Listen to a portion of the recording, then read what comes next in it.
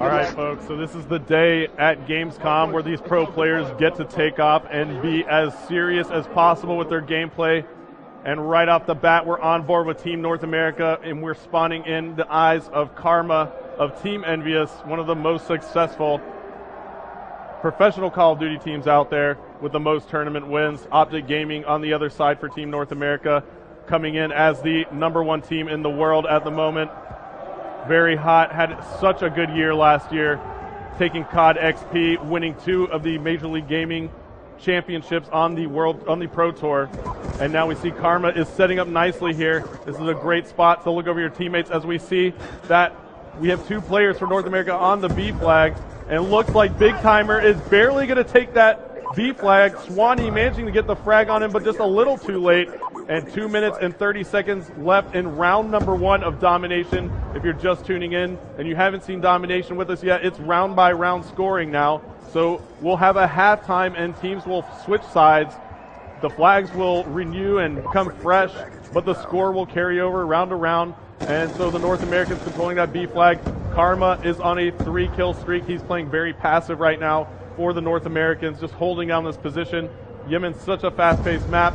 Somebody's got to play that defensive mode. And why don't we go ahead and swap board on board here with Toby, who's playing as a guest against his European counterparts. And let's see what he does here as an RCXD. Just kind of rolled through there. Now Toby's actually going to push this. Let's see what he can do as Toby is here hanging tight for just one moment. MSMC is his gun of choice.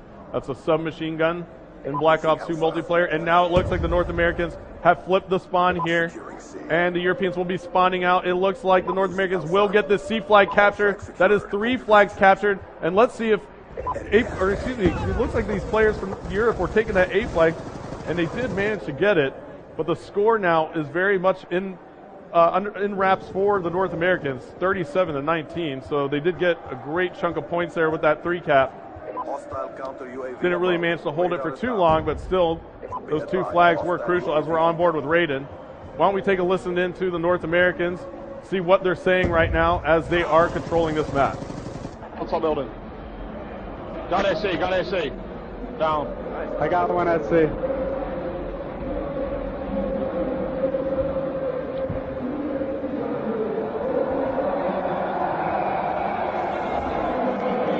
I needed that well. Watch out.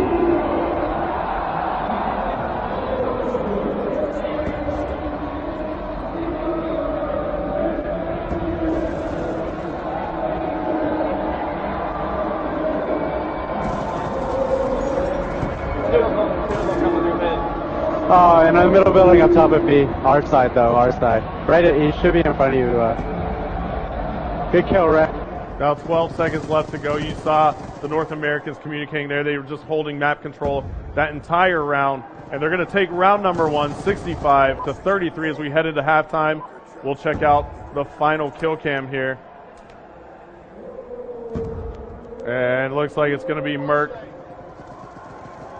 taking out Shane there near the B flag coming around. So that score is going to carry over. We're going to flip sides here. Swap spawn. And we're going to have another three minute round as we kick it right off again. We're on board with Karma yet again. And it looks like Karma's going to help Toby here. So one player did push. And it looks like that was Rambo, Optic Ray of Optic Gaming. Storied player, long time career professional Call of Duty player. And Rambo does has a nice, nice flank right there. He comes up behind two European players, takes out one, gets an assist on the other, but no, it's going to be Gunshy who took out Ray. And Gunshy is going to be very close to that B flag, but he gets taken out. As we take a look here at the picture in picture, we'll hop on board with Ray, who's spawning back in here. Now Ray has the MP7. Looks like he has the extended clip on that MP7. It has so many rounds, and now he gets taken out. We'll jump on board with Karma, who is actually threatening the home flag, the A flag for the Europeans. Gets a nice hip fire right there, whips around, takes out Raiden before getting taken out by Shane. Now Shane making a move. The Europeans are going to have to do something really quickly if they want to claw back into into this one. Now it looks like quite a few of them were down, so Shane was the only one alive, and now he gets naded as he was trying to take the B flag. the North American strategy here is just to hold the Europeans from taking that B flag. They can just hold this down all game long and win this next round as well. 81 to 49 is the score at the moment. And you see that B flag is neutral. And we're still on board with Shane. Certainly going to have to start making moves.